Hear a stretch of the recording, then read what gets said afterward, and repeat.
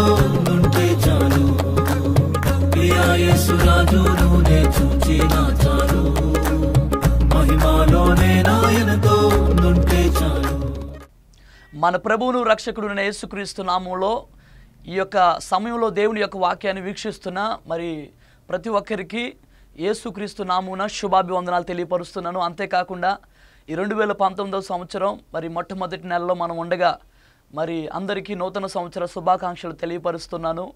మరి నూతన సంవత్సర ప్రారంభంలో మరి ఎంతోమంది ఎన్నో రకాల ఆలోచనలు కలిగి ఈ సంవత్సరంలో ఎలాగైనా మరి కొన్ని విజయాలు సాధించాలని ఎన్నో ఆశలు కలిగి మరి మీరందరూ ఉంటూ ఉన్నారు. అందుకనే ఈ దినాన మరి దేవుని యొక్క వాక్యంతో మిమ్మల్ని బలపరచాలని దేవుని యొక్క వాక్యం ద్వారా మిమ్మల్ని ఈ సంవత్సరం కొరకు సిద్ధపరచాలని దేవుని యొక్క కృపలో మీకు ఒక అద్భుతమైన ఆనుముత్యాల వంటి వాక్యాలను తెలియపరచాలని ఆశపడుతూ మరి ఈ దినాన్న మీ దగ్గర రావడానికి దేవుడు నా కృప చూపించారు. మరి దేవుని యొక్క వాక్యాన్ని వినడానికి ముందు మరి మనందరం ప్రార్థన చేసుకుందాం. దయచేసి ఎవరెవరైతే చూస్తున్నారో మరి కొద్ది నిమిషాలు మరి దేవుని యొక్క వాక్యాన్ని వినడం కొరకు దేవుని యొక్క ఆత్మ ద్వారా మనం దర్శించబడినట్లుగా మరి ప్రార్థనలోనికి వెళ్దాం. అందరూ కనులు మూసుకుందాం. అందరూ కనులు మూసుకుని ప్రార్థన చేద్దాం. పరిశుద్ధుడా ప్రేమ కలిగిన తండ్రి మీ నామముని స్తోత్రాలయ్యా. ఎంతమంది బిడ్డలైతే మీ యొక్క వాక్యాన్ని వినడానికి సిద్ధంగా ఉన్నారో వారందరిని మీరు దర్శించండి. చిన్నలనేమి పెద్దలనేమి ప్రతి ఒక్కరిని మీరు దర్శించండి. యేసుక్రీస్తు నామంలో ఇప్పుడే దేవుని వాక్యం వారి హృదయాల్లోనికి వెళ్ళినట్లుగా అద్భుతమైన కార్యము జరుగునుగాక తండ్రి మీరు సహాయం చేయండి. ఎవరికి అవసరమైన మాట తండ్రి ఎవరెవరికి ఏది అవసరమైనదో అది మీకు తెలుసు. మీ దాసుడైన నేను మంటిని నిశ్చయంగా మీ యొక్క స్వరాన్ని వినిపింప చేయమని ప్రార్థిస్తున్నాను. నజరుడి నేసుక్రీస్తు నామంలో ఈ కార్యక్రమం అయ్యేలోపు బిడల హృదయాల్లో అద్భుతమైన కార్యము జరుగునుగాక. నజరుడి నేసుక్రీస్తు నామంలో ఈ వాక్యము వినుచు ఉండగా వారి హృదయములు తెరవబడునుగాక. మీరే సహాయం చేసి బలపరచమని ఏసు నామమును బట్టి అడిగి స్థుతించి ప్రార్థించి వేడుకొనుచున్నాం తండ్రి. ఆమెన్. ఆమెన్. దేవుడు చాలా అద్భుతమైన కార్యాలను మీ జీవితంలో జరిగించునుగాక. నూతన సంవత్సర శుభాకాంక్షలతో మరి యొక్క దినపు వాక్యాన్ని ప్రారంభిస్తున్నాను. చూడండి ఈ నూతన సంవత్సరంలో చాలామంది చాలా రకాల ఆలోచనలు కలిగి ఉంటారు. కొంతమంది అయితే ఇలా తీర్మానాలు తీసుకుంటూ ఉంటారు. ఎలాగైనా నేను బైబిల్ని బాగా చదవాలి. ఈ సంవత్సరం ప్రారంభం నుండి ముగింపు వరకు మరి ఖచ్చితంగా ప్రతిరోజు బైబిల్ చదవాలి అనే ఆలోచన కలిగి జీవిస్తా వాళ్ళ జీవితాన్ని ప్రారంభించి ఉంటారు ఈ సంవత్సరాన్ని ప్రారంభించి ఉంటారు నిజమే చాలామంది ఇలాగ నేను మంచి చేయాలి కొంతమందికి లేని వాళ్ళకి సహాయం చేయాలి. క్రైస్తవులు ప్రత్యేకంగా మరి చాలామంది ప్రత్యేకంగా ఇలాంటి నిర్ణయాలు తీసుకుంటూ ఉంటారు. మంచిది పరిశుద్ధ గ్రంథంలో నుండి నూట ముప్పై ఎనిమిదవ కీర్తన ఆఖరి వచనం ఎనిమిదవ వచనాన్ని ఒకసారి మనం చదువుకుందాం. చూడండి ఇక్కడ ఒక వాగ్దానాన్ని పరిశుద్ధాత్మ దేవుడు ఈ నూతన సంవత్సరంలో మనకి తెలియపరుస్తున్నారు. అదేంటిదో చూద్దాం. చూడండి యహోవా నా పక్షం నా కార్యము సఫలము చేయను.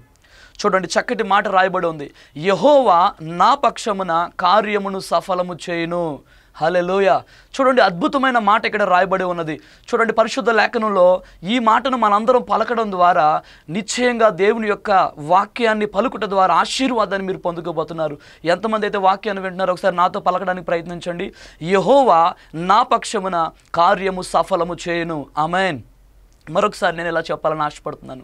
ఏసయ్య నా పక్షమున కార్యము సఫలము చేయను. ఆమె నిశ్చయంగా ఈ సంవత్సరంలో పరిశుద్ధాత్మ దేవుడు మీరు తలంచబోచిన ప్రతి కార్యమును సఫలపరచునుగాక. ఏసు క్రీస్తు నామంలో అది ఎటువంటి కార్యమైనప్పటికీ ఎటువంటి పైనైనప్పటికీ పరిశుద్ధాత్మ దేవుడు ఇప్పుడే మిమ్మల్ని బలపరచునుగాక.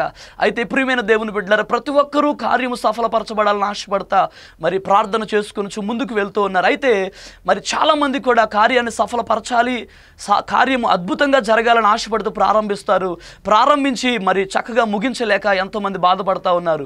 రెండు వేల పద్దెనిమిదో సంవత్సరం అలా ముగించబడిందేమో. కానీ రెండు వేల పంతొమ్మిదవ సంవత్సరం ఈ వాక్యం వింటు బిడలారా ఈ వాక్యాన్ని మీరు శ్రద్ధగా విని ఆఖరి వరకు ఆఖరి యొక్క వర్తమానం ముగించబడే వరకు మీరు వాక్యాన్ని విని చెప్పబోయే వర్తమానం మీరు వినడం ద్వారా నిత్యంగా ఈ సంవత్సరం ఆశీర్వాదకరంగా మార్చబడబోతుంది.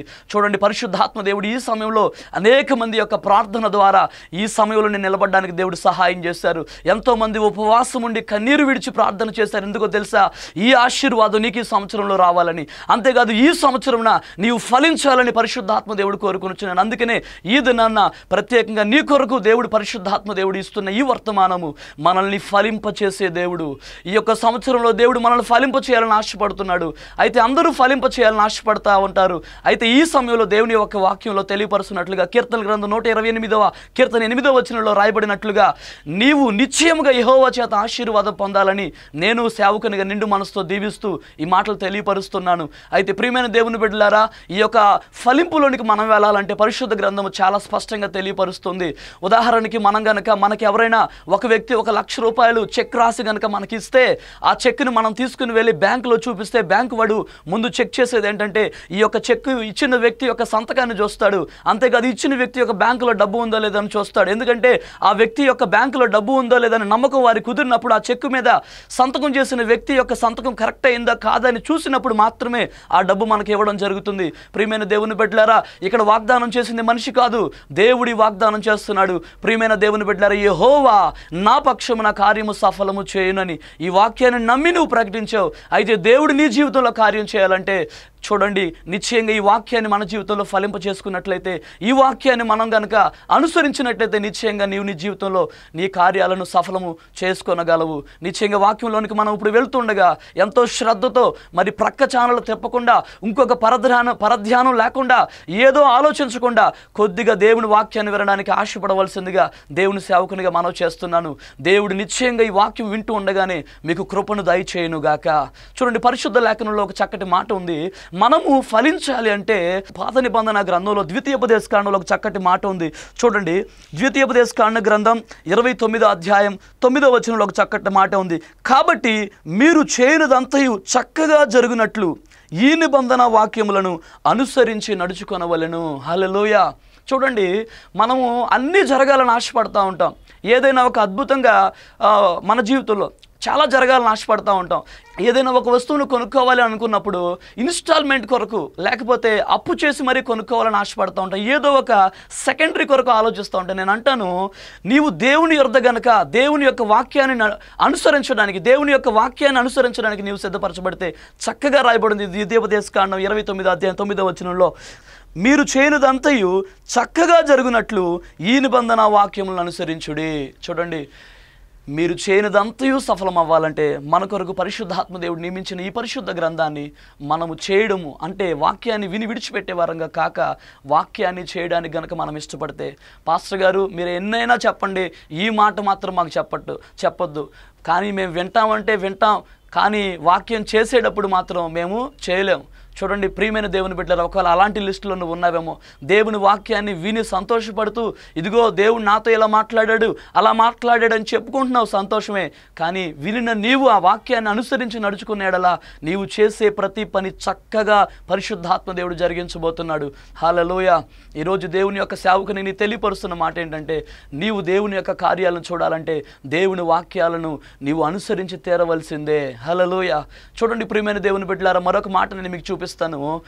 చక్కగా చేయడమే కాదు కీర్తనకారుడు ఇంకొక మాటను తెలియపరుస్తున్నాడు. కీర్తన గ్రంథము మొదటి అధ్యాయము మూడో వచనంలో ఒకసారి మనం చూస్తే అతడు నీటి కాలంలో ఎర్రన నాటబడినదై ఆకు వడక తన కాలమందు ఫలమిచ్చు చెట్టు వలె ఉండును. అతడు చేయనిదంతయు సఫలమగును. హలలోయ చూడండి ఇక్కడ ఒక మాట రాయబడి ఉంది పరిశుద్ధ గ్రంథంలో. అదేంటంటే అతడు చేయనిదంతయు సఫలమగును. ఇక్కడ ఒక మాట అతడు చేయనిదంతయో సఫలమైంది ఇక్కడేమో చక్కగా జరగాలంటే దేవుని వాక్యాన్ని అనుసరించాలని ఉంది ఇతడంట చేస్తున్నదంతయో సఫలమవుతుందంట. దానికి కారణం ఏంటంటే అతడు దేవుని వాక్యం అందు దీవారాత్రములు ఆనందిస్తూ ధ్యానిస్తున్నాడని లేఖను సెలవిస్తోంది. ప్రియమైన దేవుని బిడ్డలారా వాక్యాన్ని నేర్చుకుంటమే కాదు వాక్యాన్ని చదవడం మనం నేర్చుకోవాలి. వాక్యాన్ని వినడమే కాదు అనేక సార్లు ఎంతోమంది టీవీలో వర్తమానం చెప్తా ఉన్నారు. వర్తమానాలు వింటూనే ఉన్నాం సీనియారిటీ పెరుగుతూనే ఉంది కానీ సిన్సియారిటీ తగ్గిపోతా ఉంది. ఈరోజు సీనియారిటీతో పాటుగా సిన్సియారిటీ కూడా నీలో పెరగాలని నువ్వు ప్రతిదినము దేవునికి లెక్క అప్పగించవలనని నీవు నీ యొక్క భక్తిని కొనసాగించవలసిందిగా నేను తెలియపరుస్తున్నాను. రెండు వేల పంతొమ్మిదో సంవత్సరం నీ జీవితంలో ఆశీర్వాదకరంగా ఆశీర్వాదకరంగా మార్చబడాలంటే ఒకటే ఒకటి దేవుని వాక్యంలో నువ్వు ఆనందించాలి. చూడండి దేవుని వాక్యాన్ని ఆనందిస్తే ఎంత ఆశీర్వాదం నీ జీవితంలో కలుగుతుందో నేను ఒక భక్తుని గురించి తెలియపరచాలని ఆశపడుతున్నాను. అతని పేరు ఇంగ్లాండ్ దేశంలో పంతొమ్మిది వందల పద్దెనిమిది వందల యాభై ఆరో సంవత్సరంలో ఇంగ్లాండ్ దేశంలో జన్మించాడు. ఆయన పేరు స్మిత్ విగిల్స్వర్త్. ఆయన ఇంగ్లాండ్ దేశంలో జన్మించి తన యొక్క జీవితాన్ని ప్రారంభించిన ఆ యొక్క కాలంలో అతడు చాలా నిరుపేద కుటుంబంలో జన్మించాడు. అంతేకాదండి అతడు చదువుకోవడానికి కూడా అతనికి ధనం లేదు. ఎంతో చక్కగా తన యొక్క తల్లిదండ్రుల యొక్క చేతిలో పెరుగుతూ తన యొక్క జీవితాన్ని ముందుకు తీసుకుని వెళ్తున్న సమయంలో ఎనిమిది సంవత్సరాల వయసు ఎనిమిది సంవత్సరాల వయసులో అతని యొక్క నానమ్మ గారి ద్వారా ఒక సువార్త కూడికి వెళ్ళడం జరిగింది. ఆ సువార్త కూడికలో దేవుని యొక్క వాక్యం అతన్ని దర్శించి అప్పటి నుండి ప్రభువులో ఆనందించడం ప్రారంభించాడు. దేవుని వాక్యంలో ఆనందించడం ప్రారంభించాడు. అయితే విషయం ఏంటంటే అతడికి చదవడం రాదు. అప్పటి నుండి ఎంతో వేదన ఎంతో బాధ నేను దేవుని వాక్యాన్ని చదవాలి అని ఆశపడతా ఉండేవాడు. కాలక్రమంలో కొంతకాలం తన తల్లిదండ్రులకు సహకారిగా మార్చబడి తన తండ్రికి తన యొక్క చేతి పనులకు సహాయం చేస్తూ తన జీవితాన్ని ముందుకు తీసుకుని వెళ్తూ ఉండగా తన తన యవన ప్రాయంలో ఇరవై మూడో సంవత్సరంలో పాలి అనే ఒక సహోదరిని పాలి అనే ఒక యవన స్త్రీని వివాహం చేసుకుని తన జీవితాన్ని ముందుకు తీసుకుని వెళ్తూ ఉండగా ఆయన తన యొక్క జీవితంలో ఉన్న ఆ యొక్క తన జీవితంలోనికి చేర్చబడిన ఆ భాగస్వామి యొక్క సహాయము ద్వారా అతడు చదువుకోవడము నేర్చుకున్నాడు. అప్పుడు నుండి తన జీవితంలో దేవుని యొక్క వాక్యాన్ని చదవడం ప్రారంభించాడు. అంతేకాదండి రాత్రింబగలు అతడు దేవునితో గడపడానికి ఇష్టపడ్డాడు. అతని యొక్క ప్రయాసకి ఫలితంగా ఆ ఇంగ్లాండ్ దేశంలోనే కాదండి ప్రపంచవ్యాప్తంగా ప్రపంచవ్యాప్తంగా ప్రభు అతన్ని వాడుకున్నాడు. ప్రియమైన దేవుని బిడ్డలారా ప్రభునందు ఆనందించడం కొరకు అతడు రాత్రింబవళ్ళు వాక్యాన్ని చదివినట్లుగా ఉంది. ప్రియమైన దేవుని బిడ్డలారు ఇంకో విషయం చెప్పమంటారా? అతడు తన యొక్క బ్రతికి ఉన్న కాలంలో ఏ ప్రాంతంలోనికి వెళ్తే ఏ ప్రజల మధ్య నిలబడితే ఆ ప్రజల మధ్య దేవుడు అద్భుత కార్యాలు ఆశ్చర్య కార్యాలు చేసినట్లుగా లేఖనాలు సెలవిస్తూ ఉన్నాయి. అంతేకాదండి ఇంకొక విషయం చెప్పమంటారా? అతడు దేవుని యొక్క వాక్యాన్ని ఖడ్గముగా ధరించి ముందుకు వెళ్తూ ఉండగా అనేక మంది చనిపోయిన వారిని కూడా దేవుడు అక్కడ లేపడం జరిగిందండి. ఇలాంటి కార్యాలు దేవుడు మన జీవితాల్లో కూడా చేయాలని ఆశపడుతున్నాడు. ఒకవేళ నీ జీవితంలో నిరాశతో ఉన్నావా వ్యాధులతో ఉన్నావా రోగాలతో ఉన్నావా బాధలతో ఉన్నావా దేవుని వాక్యం నిన్ను బలపరుస్తుంది. దేవుని వాక్యం అందు నువ్వు ఆనందించడానికి ఇష్టపడితే ఈ రోజు ప్రియమైన దేవుని బిడ్డ ఈ రోజు నువ్వు ఎలాంటి పరిస్థితుల్లో ఉన్నా నువ్వు దేవుని వాక్యాన్ని తీసి దేవుని వాక్యంతో నువ్వు దేవుని వాక్యాన్ని తీసి చదవడం ప్రారంభించు. ఖచ్చితంగా ప్రభు నీతో మాట్లాడి నిన్ను బలపరచగలడు. ఎందుకంటే యహోవా యందు ఆ- అతడు నీతి కాలంలో ఎరన నాటబడినదై ఆకు వాడక తన కాలమందు ఫలమిచ్చు చెట్టు వలె ఉండునని దేవుని వాక్యంలో ఆనందిస్తూ ఆనందిస్తే నువ్వు ఫలమిస్తావు. ఎక్కడ వాడిపోవు. ఒకవేళ వాడిపోయే పరిస్థితిని కొంటే పరిశుద్ధాత్మ దేవుడు నిన్ను బలపరుస్తాడు. కాబట్టి ప్రియమైన దేవుని బిడ్డ నిశ్చయంగా ఈ యొక్క మొట్టమొదటిగా నేను తెలియపరుస్తున్న విషయము వాక్యం ఎందు నువ్వు ఆనందించుట ద్వారా ఈ సంవత్సరంలో నీ కార్యాలను దేవుడు బలపరచబోతున్నాడు ఆయనే కార్యం చేయబోతున్నాడు. అలాగే నేను చెప్పినట్లుగా స్మిత్ విగిల్స్ వర్త్ వారి యొక్క స్మిత్ విగిల్స్ వర్త్ గారి యొక్క జీవితంలో మనం కనుక చూస్తే ఆయన వాక్యం ఎందు ఆనందించేవాడు కనుక తన జీవితంలో ఎక్కడ కూడా అపజయాన్ని చూడలేదు. ఒకవేళ అపజయం చూసే పరిస్థితి వచ్చినప్పుడు ఇంకొక విషయం చెప్పాలండి. తన జీవితంలో అది ఒక భాగంగా మార్చుకున్నాడు. పదిహేను నిమిషాలకు ఒకసారి వాక్యం చదవాలి అనే ఒక నిర్ణయాన్ని తీసుకున్నాడు. అలాంటి నిర్ణయాలు తీసుకునే వాళ్ళు చాలా తక్కువైపోయారండి. ఈ మధ్యకాలంలో ఒకటి వచ్చింది మనల్ని పాడు చేయడానికి ఫోన్. ఫోన్ని మాత్రం పది నిమిషాలకు ఒకసారి చూస్తున్నాం లేకపోతే ఐదు నిమిషాలకు ఒకసారి చూస్తున్నాం. కాదు కాదు కాదు. మన ఆధ్యాత్మిక జీవితం ఎదగడం కొరకు ఈ రెండు వేల పంతొమ్మిదవ సంవత్సరం నువ్వు ఫలభరితంగా మార్చబడాలంటే నువ్వు చూడవలసింది దేవుని యొక్క వాక్యాన్ని. దేవుని యొక్క వాక్యాన్ని దేవుని యొక్క వాక్యాన్ని నీవు గనక చూచినట్లయితే ప్రభు నిశ్చయంగా నిన్ను ఈ సంవత్సరంలో ఫలింప చేయడానికి సిద్ధంగా ఉన్నాడు. అంతేకాదండి ప్రియమైన దేవుని బిడ్డలారా ఇంకొక విషయాన్ని మీకు తెలియపరచాలని ఆశపడుతున్నాను. సామెతల గ్రంథం పదహారో అధ్యాయం మూడో వచనంలో ఒక చక్కటి మాట ఉంది. నీ పనుల భారము యహోవా మీద నుంచుము. అప్పుడు నీ ఉద్దేశములు సఫలమగును. చూడండి ప్రియమైన దేవుని బిడ్డలారా మొదటిగా మనం చూసాము యహోవా యందు ఆనందిస్తే మన యొక్క కార్యములు సఫలపరచబడతాయని దేవుని యొక్క వాక్యమందు ఆనందిస్తే సఫలపరచబడతాయని రెండవదిగా పరిశుద్ధాత్మ దేవుడు మనకు తెలియపరుస్తున్న విషయం ఏంటంటే మన పనుల భారము యహోవా మీద మోపాలని. దేవునికి స్తోత్రం. ఈరోజు ప్రియమైన దేవుని బిడ్డలారా బిజీ బిజీగా మనం సంచరిస్తూ ఏయేయో పనులు పెట్టుకుని మన యొక్క పనులను మనమే డీల్ చేస్తూ ముందుకు వెళ్ళిపోతూ ఉన్నాం. ఈరోజు దేవుడు తెలియపరుస్తున్న మాట ఏంటంటే నీవు దేవునికి అవకాశం ఇవ్వు. మన జీవితంలో దేవునికి అవకాశాన్ని ఇచ్చిన ఎడల ప్రభు మన పని జరిగిస్తారు. దేవునికి స్తోత్రం. ఒక మంచి ఎగ్జాంపుల్ మీకు చెప్పాలని ఆశపడుతున్నాను. పరిశుద్ధ గ్రంథంలో దానియలను ఒక భక్తుడు ఉన్నాడు. ఆ భక్తుని యొక్క జీవితాన్ని మనం కనుక చూస్తే అతడు ఏ అవసరత వచ్చినా ఏ పరిస్థితి వచ్చినా అది చివరికి మరణమైనా సరే దేవుని మీద ఆధారపడి దేవుని మీద తన భారాన్ని ఉంచిన మంచి స్వభావం కలిగిన దేవుని బిడ్డగా మనకు కనబడుతున్నాడు. ప్రియమైన దేవుని బిడ్డలారా దానియలు గ్రంథము రెండవ అధ్యాయము పదమూడవ వచనంలో కనుక మనం ఒకసారి చూస్తే ఒక చక్కటి మాట మనకు కనబడుతుంది. చూడండి పరిశుద్ధ గ్రంథాలను తెరిచి దానియలు గ్రంథం రెండవ అధ్యాయం పదమూడవ వచనాన్ని ఒకసారి మనం చూద్దాం. ఇట్టి శాసనము బయలుదేరుట వలన జ్ఞానులు చంపబడవలసినదిగా ఉండగా వారు దానియేలును అతని స్నేహితులను చంపజూచిరి. చూడండి ఇక్కడ ఒక వాక్యాన్ని మనం చూస్తున్నాం. పరిశుద్ధ గ్రంథంలో మరణమును కంటే ఎక్కువైన భారము మనిషికి ఈ లోకంలో మనం గనక చూస్తే మరణానికి మించిన భారం ఇక్కడ మనుషులకి ఎవరికి మనం చూచినట్లుగా మరణమునకు మించిన భారం అనేది మనం చూడలేం. మరణము అనేది మనుషునికి చాలా భారమైంది. చూడండి ఇక్కడ దానియేలుని కనుక మనం చూసినట్లయితే ఆయన జీవితంలో నెబ్బకత నేజరు అనే ఒక రాజు ఒక కలను కన్నాడంట. నిద్రపోయే ముందు ఏదో ఆలోచించుకుని కలను కన్నాడంట. అయితే ఆ ఆ నిద్రపోయిన తర్వాత కలను కొన్నాడంట.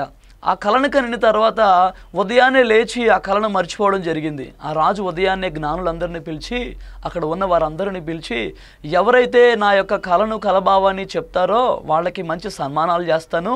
లేని ఎడల వారి యొక్క మెడ మీద తల లేకుండా చేస్తాను అని చెప్పాడంట. చూడండి ఎంత విచిత్రమైన మాట చూడండి. అతడు పడుకోవడం ఏంటండి? అతడు కలగండం ఏంటి? కల మర్చిపోవడం ఏంటి? అది చెప్పకపోతే జ్ఞానులు చంపేస్తానంటం ఏంటి? చూడండి ఇలాంటి పరిస్థితిని ఎదుర్కొన్నారు దానియలు అతని యొక్క స్నేహితులు. అలాంటి పరిస్థితుల్లో దానియలు భయపడి పారిపోవాలా? చూడండి అక్కడ ఒక చక్కటి మాట మనకు కనబడతా ఉంటుంది. చూడండి కొంచెం ముందుకు గనక మనం వెళ్తే దానియలు రాజు నొరదకు వెళ్ళి పదిహేను వచనంలో చూస్తే రాజు నొరదకు ఈ ఆజ్ఞ ఎంత త్వరగా వచ్చుట ఏమి? రాజు యొక్క అధిపతి అయిన అరియోకు నడగగా ఈ సమయంలో దానియలు ఏం చేశాడంటే రాజు యొద్దకు వెళ్ళి రాజా నాకు కొంత సమయం ఇవ్వు ఈ సమయాన్ని నువ్వు నాకు ఇచ్చిన ఎడలని ఖచ్చితంగా నీకు తెలియపరుస్తానని విశ్వాసముతో అడగడం జరిగిందండి. దేవునికి స్తోత్రం. అప్పుడు రాజు కొంత సమయాన్ని దానియేలుకి ఇవ్వడం జరిగింది. దానియలు ఇంటికి వెళ్ళి తన తన యొక్క పని తన యొక్క పనిని దేవుని మీద వేయడానికి తన స్నేహితులందరినీ పిలిచాడు. తన స్నేహితులందరినీ పిలిచి విశ్వాసంతో ఆ రాత్రి ప్రార్థన చేయడం జరిగింది. చూడండి అదే అధ్యాయం కొంచెం కిందకు గనక వస్తే పంతొమ్మిదవ వచనంలో అంతటా రాత్రిపూట దర్శనము చేత ఆ మర్మము దానియేలునకు బయలుపరచబడెను. గనుక దానియేలు పరలోకమందున్న దేవుణ్ణి స్తుతించెను. హలలుయ చూడండి మన కార్యాలు సఫలపరచబడాలి అంటే దానియేలు ఎలాగైతే దేవుని మీద ఆధారపడి తన జీవితాన్ని ప్రభువుకు అప్పగించాడో ఆ విధంగా మనము దేవుని మీద ఆధారపడితే దేవుని మీద మనం గనక మన జీవితాలను దేవునికి మన జీవితాన్ని అప్పగించిన ఎడల నిశ్చయంగా మనం కూడా ప్రతి ఒక్క కష్టం నుండి తప్పించబడగలం. దేవునికి స్తోత్రం కలుగును గాక ఇంకొక విషయం నేను చెప్పాలని ఆశపడుతున్నాను. ప్రతి మనిషి కూడా అనేకమైన భారాల్లో ఒక ప్రాముఖ్యమైన భారాన్ని నేను తెలియపరచాలని ఆశపడుతున్నాను. అదేంటంటే పాప భారము. చూడండి పాప భారాన్ని పోగొట్టుకోవడం కోసం చాలామంది చాలా ప్రయత్నాలు చేస్తూ ఉన్నారు.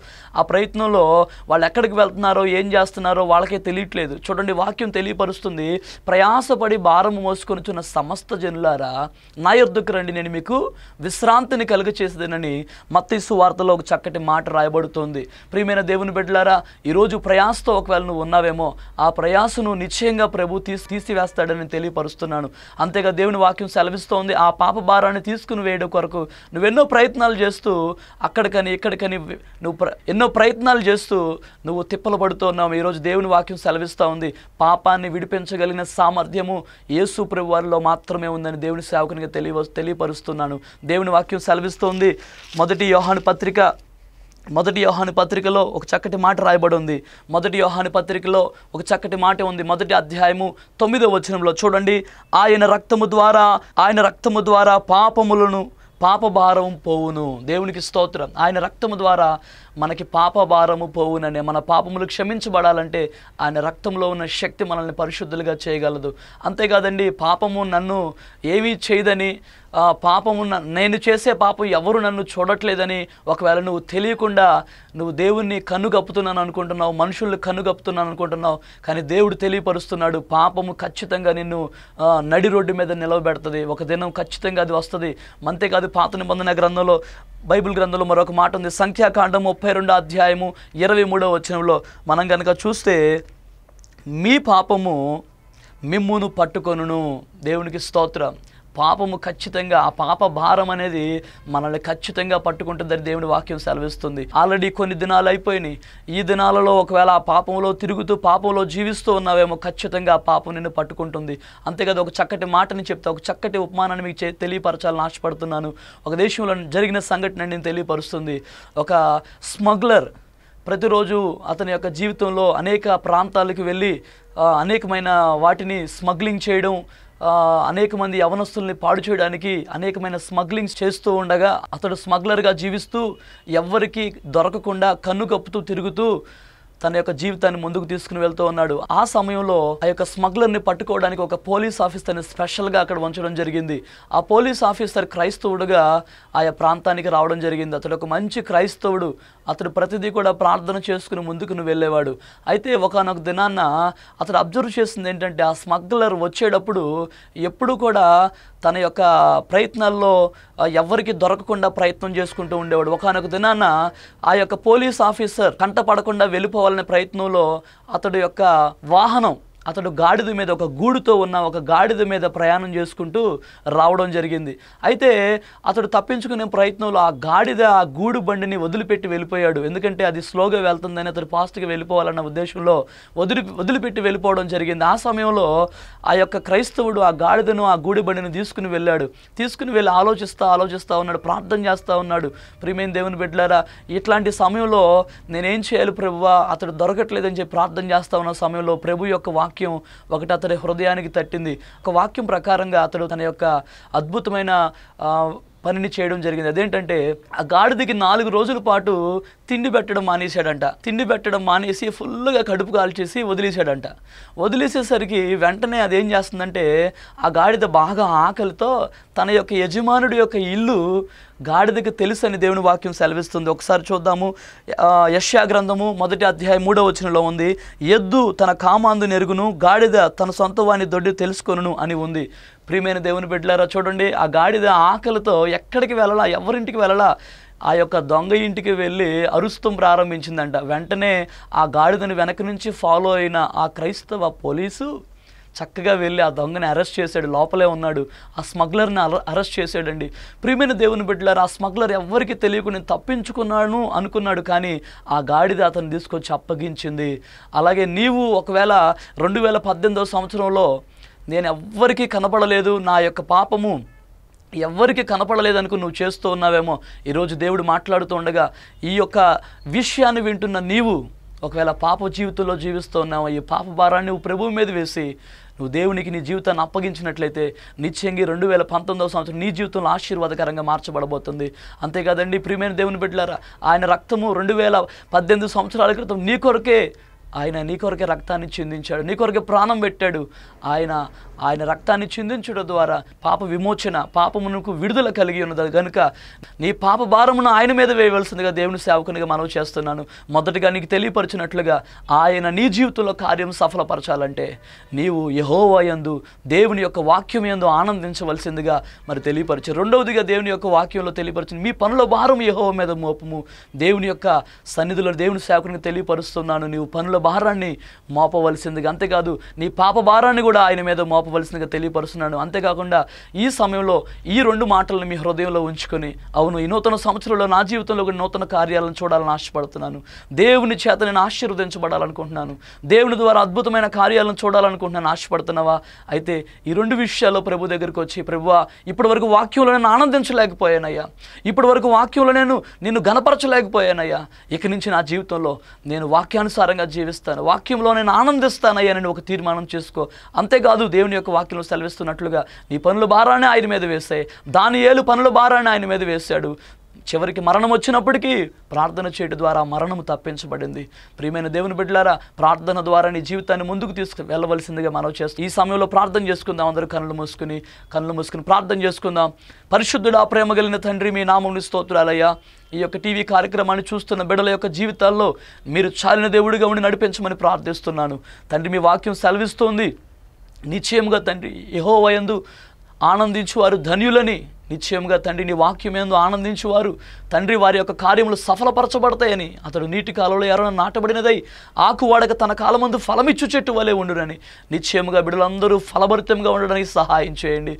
అంతేకాదయ్యా తండ్రి దానియేలు యొక్క జీవితంలో చూసినట్లయితే మరణం వచ్చినప్పటికీ అతడు భయపడలేదు. ప్రార్థన ద్వారా గొప్ప విజయాన్ని సాధించగలిగాడు. ఇది నాన్న తండ్రి వీరు వీరి యొక్క పనుల భారాన్ని మీ మీద వేసి వారి జీవితాలను ముందుకు తీసుకుని వెళ్ళడానికి సహాయం చేయండి. అంతేకాదయ్యా తండ్రి పాపము వారిని పట్టుకునని లేఖను సెలవిస్తుండగా తండ్రి వీరు ఏ పాపములో ఉన్నారో ఆ పాపములో నుండి వీరు విడిపించబడడానికి నిశ్చయంగా మీరు త్వరగా రాబోచున్నారని బిడలు గ్రహించి వారి జీవితంలో నిశ్చయంగా పాపమును విడిపించి విడి పాపము నుండి విడిపించబడి విరక్తం రక్తం ద్వారా పరిశుద్ధపరచబడి నిత్య రాజ్యములకు వారసులగినట్లుగా సహాయం చేయండి.